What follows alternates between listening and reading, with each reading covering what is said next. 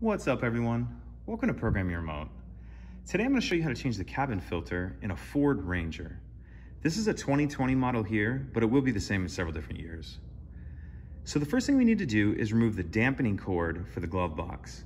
That's going to be located up under the dash, kind of behind the glove box. So I'm going to go under here and uh, get a shot of that. It's a little tight under here, but we'll do the best we can. So the dampening cord is going to be that cord that you see coming out of this white um, pipe looking thing right here. So what you want to do to get that off, if you can just get a hold of it kind of like this, and it'll just pull off there. It's just a loop that's on a little catch like that.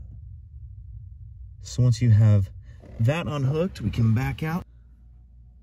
Okay, so we got that the dampening cord off the glove box. So now we can go ahead and open the glove box and we need it to drop down uh, even further. So what we're gonna need to do that is on either side, we're gonna push in like this and that's gonna allow the glove box to come down. So we'll push in, that's gonna allow that to come down like that. And now if we look under here, uh, we can see the door to the cabin filter right here. How that comes off is there's this pinch clip on the right hand side. If you pinch, It'll come off like that. And now we can see the actual filter right here. So you'll put your new filter in. Make sure you pay attention to the airflow indicator on your new filter. You wanna make sure that arrow is pointing down. So you have your airflow indicator pointing down, and then you'll just reverse everything we just did to close it up.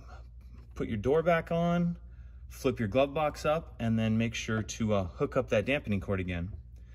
It's pretty simple. If you have any questions, please let me know. If you could take a second to like and subscribe, it helps us out and I'd appreciate it. Thank you.